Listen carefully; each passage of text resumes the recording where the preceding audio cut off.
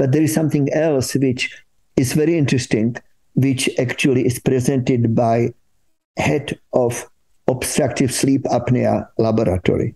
And it also shows that some of the dogma we have in the textbooks are not correct.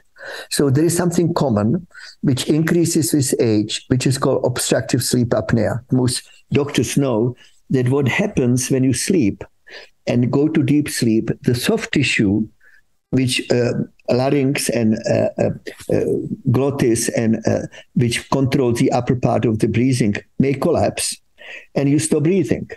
And when you stop breathing, brain doesn't get enough oxygen; it wakes you up. That's called obstructive sleep apnea.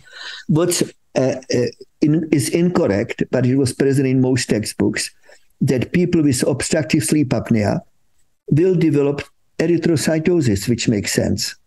Well, uh, we and Dr. Krishna Sundar, who will be presenting that work uh, uh, as a poster at the Brooklyn meeting, have uh, looked at large number of patients with obstructive sleep apnea, and most of them should have higher red cells and they don't.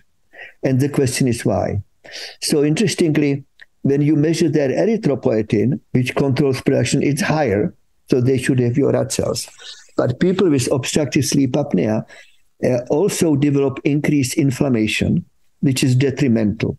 So people with obstructive sleep apnea are more likely to get diabetes, more likely to get hypertension, and more likely to get another cancers.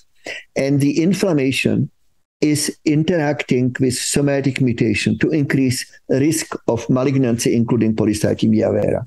So what Dr. Sundar is trying to show now, and I collaborate with him, that people with obstructive sleep apnea who have polycythemia vera or essential thrombocythemia, that's our theory, that if you treat them, the polycythemia vera may get better just because you decrease inflammation from obstructive sleep apnea. And this is based on anecdote. I had a patient with polycythemia vera. He uh, was in complete hematological remission, but required large amount of the medication. But then uh, the blood counts were getting lower, and I had to keep decreasing the medication. And then he told me, "Oh, doc, I forgot to tell you, I was diagnosed with obstructive sleep apnea, and I'm getting treated now."